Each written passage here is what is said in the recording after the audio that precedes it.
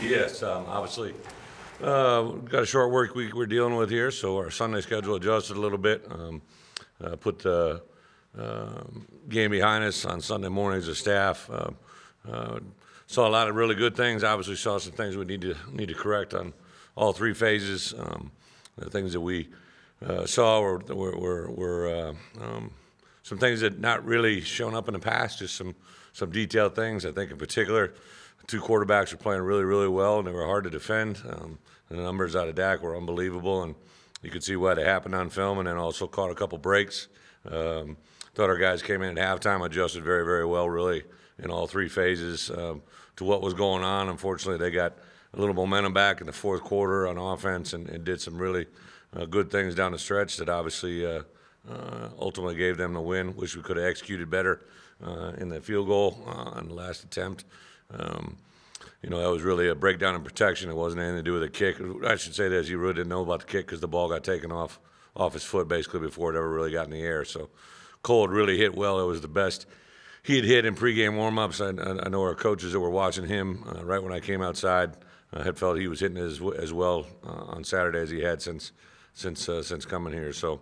Um, unfortunately, we didn't get to see the results of that, and that's very, very disappointing because that's basic uh, field goal protection inside out. Um, they just had a, a player beat our, our, our right end across his face, which took the ball uh, uh, out of play very, very early. So that's very disappointing. I think I told our, go- our guys yesterday, I met with our kids while our coaches were still working on uh, working on our Missouri prep, and uh, you know, for the first time since I've been here, I was just legitimately just really pissed off um, Saturday night and Sunday, just just because it was a a game that you know we've lost some games here, but I don't know if we've ever been in a position that we could say, hey, that was that was truly one that. Um, uh, they played well. Uh, guaranteed Mississippi State played very, very well, but we could have easily had that game be in a win column, and you can't give away a win. And um, we just need to execute at the last minute on a chip shot field goal, and, and it would be there. But we didn't, despite everything that happened. So we'll move ourselves forward. We'll make the changes we need to make. Uh, injury wise, we've stayed very, very uh,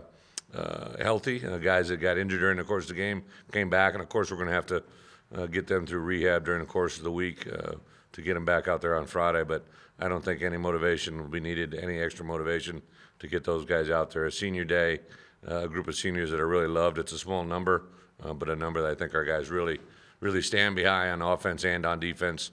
The numbers are low, but our guys respect them. So I don't expect that to be a problem. We'll we'll kind of adjust our schedule today. We'll go out late. Uh, usually don't go out on Monday nights, but tonight, uh, after classes are done, we can't get our hands on our guys till about 6:30 or 7 tonight. We'll treat it a little bit like a Tuesday practice, not as long, but we'll get good work done.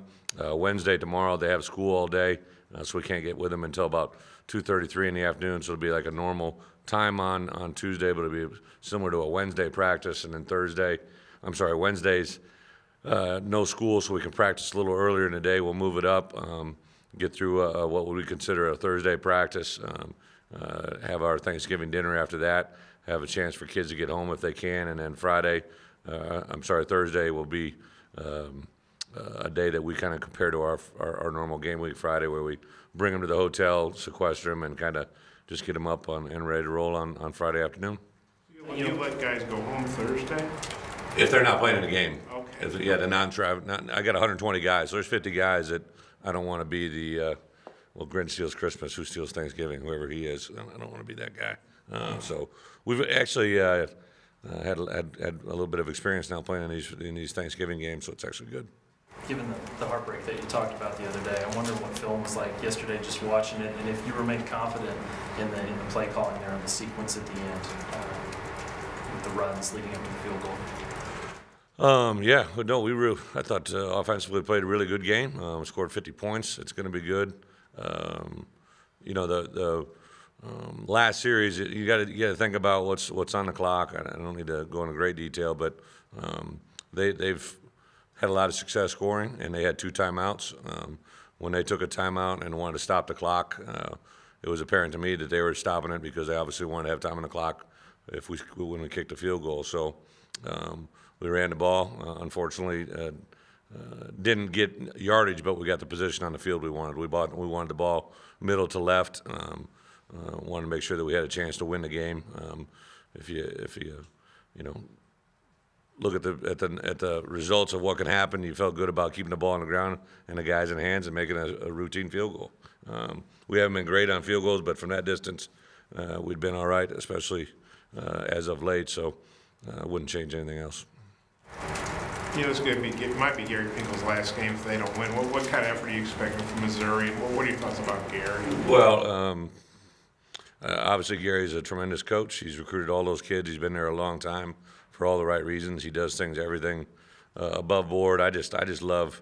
Um, I'm sure you guys have all interviewed him. I, I've only been around him now about, you know, going in my third year. It just uh, when people ask him questions, he's very, very um, direct on what he says. He believes in it. He doesn't waver in it. Um, people ask about injuries. He has a comment. If you ask about anything else in his program, he has the answer because he knows it through and through. And I, I love that as a coach. I have an utmost respect for him. I know a lot of coaches that have worked for him.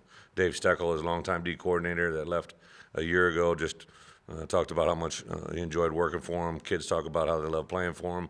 So they'll obviously be very, very motivated on Friday. Um, um, whether it's his last game or not, I know it's his last game at Mizzou for a while until he gets everything he needs to get under control. But we'll we'll definitely uh, have a few words before the game and and uh, wish him the best of luck on everything moving forward. Is this, is this a kind of game where if you weren't playing him, you'd be rooting for him? Oh, absolutely. I think uh, uh, Coach Pinkel probably has that uh, from a lot of coaches, just because he's he's a, a very genuine guy, very very self uh, uh, made. You know, he didn't he didn't uh, do anything. uh, He just everything he's gotten, he's gotten on his own. You know, and his tradition, his history, his background, uh, being with Don James, all the all the stuff that he's earned, it's pretty cool.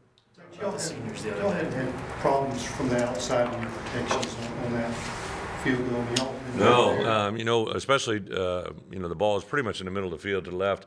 Uh, we we had pressure coming up the middle, and and to be quite honest, I think the kid that blocked it was even shocked he was there. Um, he didn't block it; he blocked it pretty much with his body, not his not his hands, and and hadn't had any issues. Um, again, we protect inside out. That's the most fundamental thing to deal with with field goal protection. And unfortunately, we we had to move some people around. Mitch Lavin had played the opposite end spot uh, the week before when he broke his foot.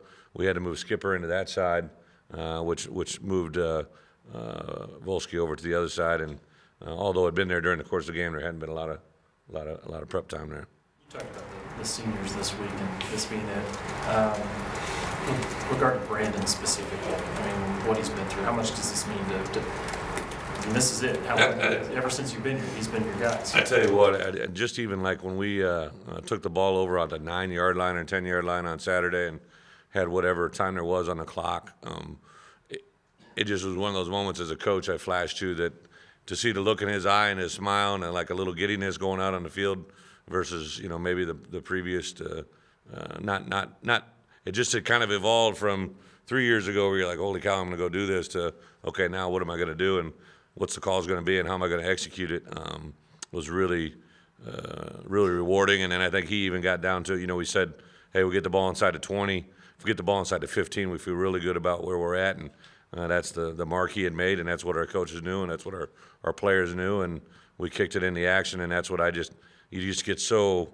frustrated with the result. But uh, for BA on Saturday, um, his dad being a coach, being from Fayetteville, from uh, being a older brother of a younger brother on the team, to there are just so many storylines that buy into something special that's pretty pretty unique and, and pretty genuine and something I've never been a part of. You know, I've never uh, had a had a had a coach's son that I have worked with now be uh, our starting quarterback, and it, it means a lot. They- They revealed the trophy today, so does Yeah. this feel like it's going to be a trophy game? Yeah, it does, and we'll make it that way. You know, we do all right in trophy games. Um, uh, I'd, I'd asked, giving Basil some heat all the way through. You know, I knew he had a hand in in, in uh, creating it, and uh, I haven't seen it live, but I saw the I saw the pictures of it this morning. Um, pretty cool. Um, heavy sucker, four foot, one eighty. Uh, sounds like a midget three technique, but but I, I, I like um, I like I like the looks of it. Looks classy, and uh, hopefully he's got a lot of history and something we can build upon. Have you guys got a, a thing, Bill, where you can have it and the booth displayed together? We had to think about. We got to get things first. Uh, I, I think that the uh, um, the thing that we at, at previous institutions that I've been at is you get a little little trophy case set up and you always have them on display because people go crazy for those things. It, it really is uh, amazing. I mean, our players love it and there's a uniqueness to it to battle for a trophy, but uh, it means so much to the fan base and, and uh, uh, has a lot of carryover throughout the year that you, you definitely would want something like that. In terms of knowing their personnel, I mean, three tours through the West now, you've got some stuff going with each of those West teams, but now from Missouri standpoint, familiarity with personnel and stuff like that, is it starting to gather up a little bit? I think so. Um, you know, obviously the storyline of coach and, and uh, everything he's going through right now takes a takes a uh, precedence, you know, and as as it should, uh, uh, with all that it goes into it.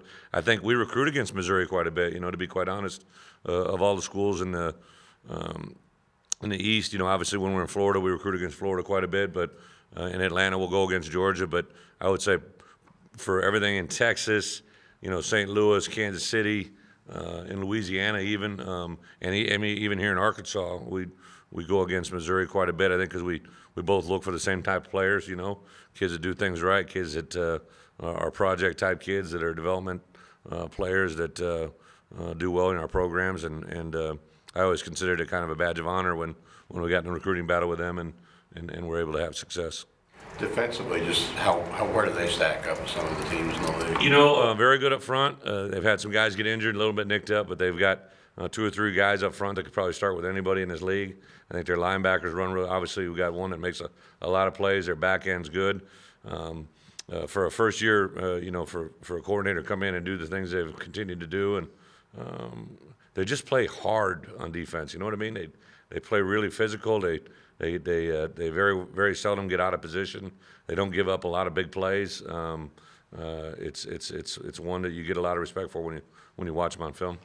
Their- offense, you know, they've had to go to Lock with Mauk getting suspended. What are you seeing out of Lock? And they- really struggled to score and Yeah. move the ball. You know, um, you know, I know there's a dry stretch there for a while, but as you get with good coaches, you know, his last two games have been his better two games. Um, uh, I think the the fact that we have to defensively uh, rebound from uh, a game where we gave up some yardage and gave up some plays uh, to fit the mode of what we got this week.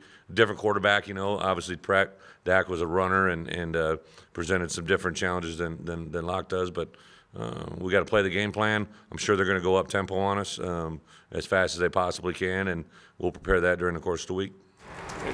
Do you have to kind of rebuild your defense's confidence after a game like, like last week? You know, um, I get the question, but I don't really believe so. We, we've played good defense. Uh, they play good defense here this year. Um, uh, I think what we have to do is really get everybody to lock in and, and, and, and understand that, in, you know, with 11 guys on the field, they're going to find that, that one. You can't be that one that's got your eyes in the wrong spot. I thought Dak was very opportunistic on about three or four, especially scoring plays where everybody was doing their job and one guy wasn't, and he'd find that guy. And, and, and to be quite honest, uh, uh, he presents a challenge in this conference like no other quarterback as far as being able to run the ball and throw the balls as accuracy. I think that's the biggest jump he's made. Uh, um, I really believe that you probably had your two best quarterbacks out there on the field Saturday in this in this league battling it out, and uh, it was it was it was a, a for a pure fan standpoint, it's probably a lot of fun to watch those guys.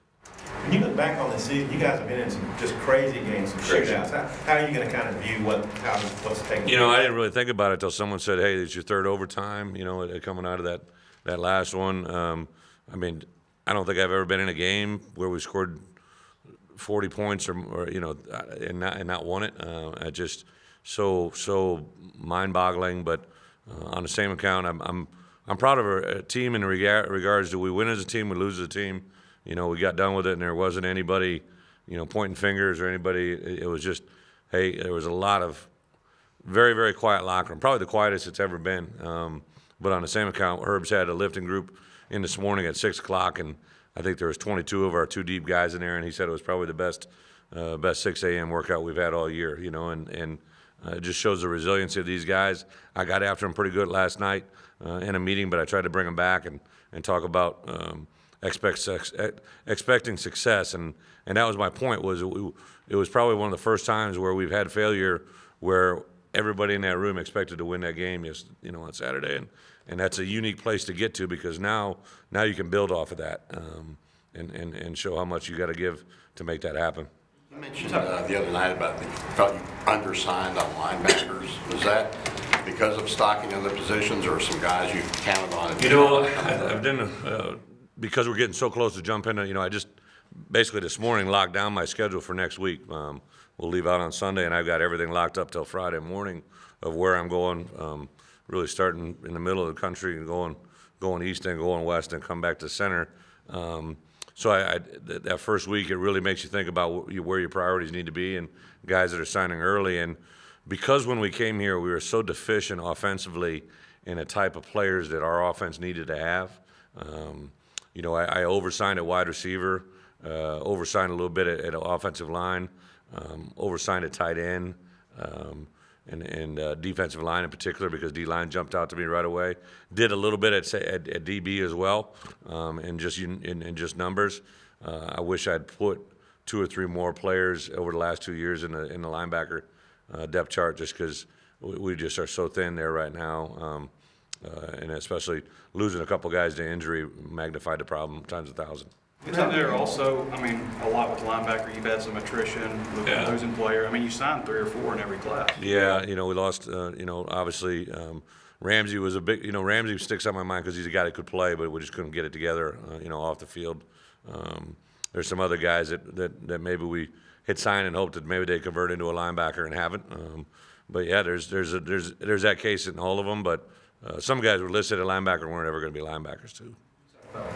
Just being pissed off and all, we talked about the wild games you've had this season. Are you, is it wearing down on, wearing on you at all? Or are you still totally upbeat, ready? Yeah, I just I'm I'm serious. It was like a you know like I got done with a game and, and I got to compose myself to deal with our players first, and then I walk into you guys, and then I walk into a, a radio sta- uh, interview, and I walk into a TV interview, and and then uh, I go back over, and it's like 11:30 or whatever, and, and I gotta I'm just dying, so I go watch the, the field goal clip, you know, and then I just just go through the roof and. Um, my wife tried to calm me down a little bit, but I was I was like a little bit beside myself Saturday night. And, um, had a very good buddy in town. We just kind of sat there Saturday night, and then Sunday morning I get up and it's kind of more of the same. And I watched the film, and and it, and it kind of reflected back that it was like the first time I've ever been like that in a long time. I remember when we lost uh, the Rose Bowl um, to, to uh, TCU and Oregon back to back years by a field goal, and and those teams one was two number two in the country in the rankings, and the other one was like three or four, and just just realize you were that close to beating somebody of that stature. Um, and Mississippi State, I, I know they're they're an eight and three football team now, but I, what I was really revved up about last week is they had won more games than anybody in this league, just them in Alabama over a, a certain you know three or four year window. So I, I knew if we beat them, what it meant to, to me. Uh, meant that we're on the verge of, of winning a lot more than losing. And, and you know we've, we're three and one on the road, and we're whatever we're four and three now, and five and three sounds a lot better than than you know four and four, but it sounds a heck of a lot better than zero and eight uh, and and stuff like that. Uh, two and six, so well, I know where we're going. It's just I get impatient, and uh, you know it's going to hurt uh, to lose some of these seniors. But we got. I, I was sitting there Saturday, and I, I do this little thing on game day where I call up. We, we, we get together, we say a few things, we say a prayer, and then I call up our game day meal, and I go seniors first, and there's like nine guys got up, you know, and there's just not a lot of guys. And then I'll say juniors, and, and like half the room gets up, and you look in that group, and there's a lot of lot of really good players. Like so, the NFL allows you to to sign or, or get five guys evaluated. I have to like sit down and talk about who we're going to get evaluated because and I I got more of the guys that want to do that probably, and then. Um, you know, I called the NFL league office today and talk about Jay Will because, you know, here's a guy that he technically can't go through that process, but he's a guy that needs that process because he still has another year of eligibility here, you know, and I, I want to give him the right information. Um, and I'm also trying to prepare for Missouri, and I'm trying to get recruiting. So I'm not frustrated. It's just it's that time of the year where, as a head coach, you're like, I just need like three more days in a week, you know. So um, it ain't gonna happen, but it's it's fun to think about it.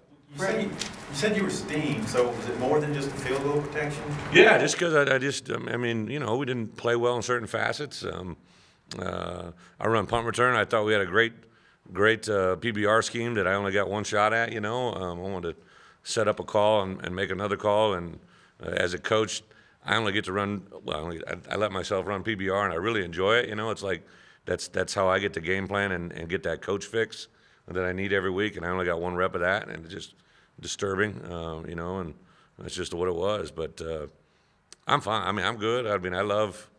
I, I, I, it's so exciting. It sounds stupid to be, you know, um, uh, uh, six and five and, and say it's exciting, but um, I guess I've been in other places where it's been a lot better than that, but it, it's just, you've created it here with your own hands and you've molded it. It's, it's, it's, it's a lot of fun. Is it frustrating to score 50 points and then lose by one? Is that part of? You can choose the frustration? adjective, it ain't fun, whatever, whatever, whatever adjective you want. I, I, you know, I probably said a word I shouldn't use, I guess, uh, but, um, it's, it's, it's one of those things that just, it's, it is what it is, and you see how it happened, and you saw how it played out. What you have to do is make sure you make corrections to hopefully never let it happen again. Um, it's gonna be a great offseason for us. I've already got two or three things in mind, uh, for us, uh, on the defense side and, and a couple on offense I think will really benefit us to, uh, to dig our hands into. We'll have a little bit of a, a little bit of introduction to that in the, in the, in the bowl prep, you know. Um, I kept our uh, non-travel roster, you know, I got 50 guys that don't travel with us. Uh, we got 120 kids, so I kept those 50 after yesterday's uh, team meeting, and I just said, man, this is going to be a great month for you, you know. Um, take care of your academics. We got guys with a, a couple guys that are in jeopardy that, that have to get get right academically, but then, you know, I get unlimited practice with you guys. You know, I get I get unlimited practices with the development crew. We may have three or four freshmen or, or, or signees that, that graduate early and could could do what Ty did a year ago, come in and, and practice with us during bowl prep, which is a lot. That that's just like purely awesome. Um, so it's really one of the more December for a coach is probably one of the more enjoy. If you're going to a bowl game, is one of the more enjoyable times of your life.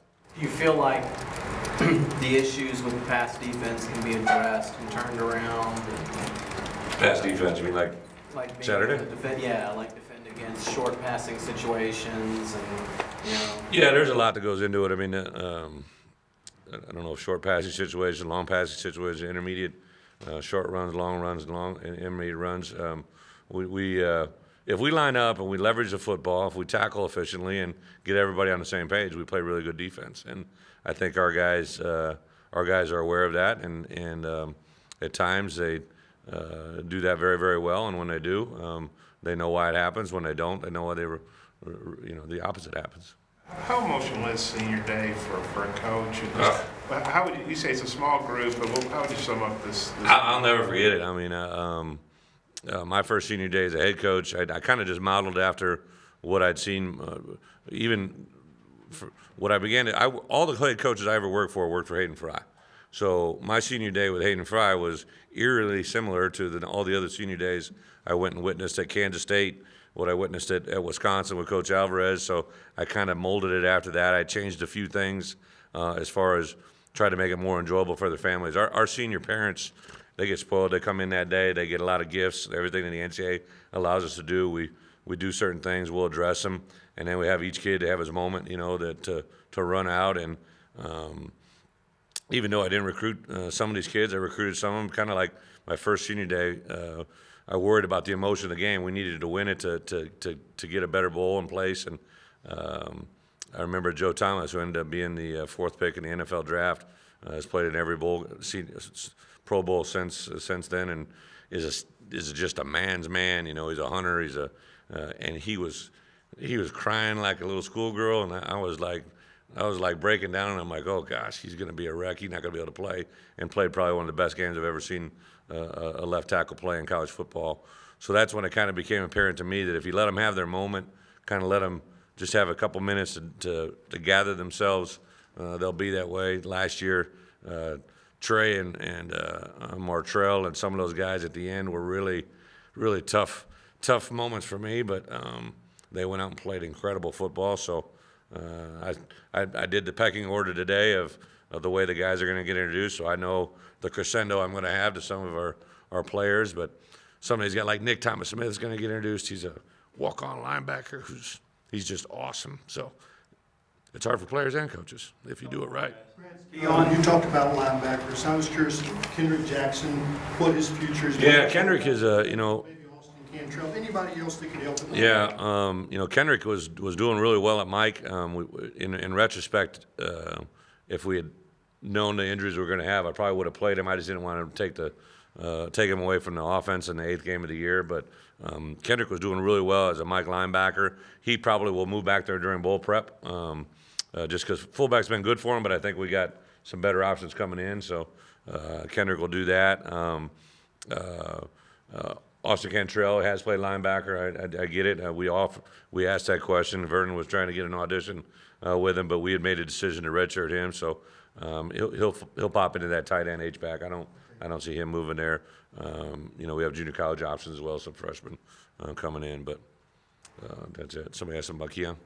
Come out with the seniors or is he? No, uh, um, So he's coming back? Yeah, he, he, uh, Keon, and I've had several conversations, um, everything, uh, you know what, Keon's pr- matured so much, and, uh, I think he, he knew, uh, where he needed to have his mind right, and, and, uh, he's actually gonna graduate here, uh, in December, and he's been loaded down with that, and, um, I think him and Jay Will, I felt bad for Jay Will, Jay Will, uh, wa- was in the training room the other day, and, uh, you know, I, I know he's frustrated, cause he, he wants to be kinda out there and more involved, and, uh, he just hasn't been able to get out there that way, but, uh, uh, Keon, I think, will, will definitely come back, and Jay will probably, unless we get some radical information. He is keeping his ears open.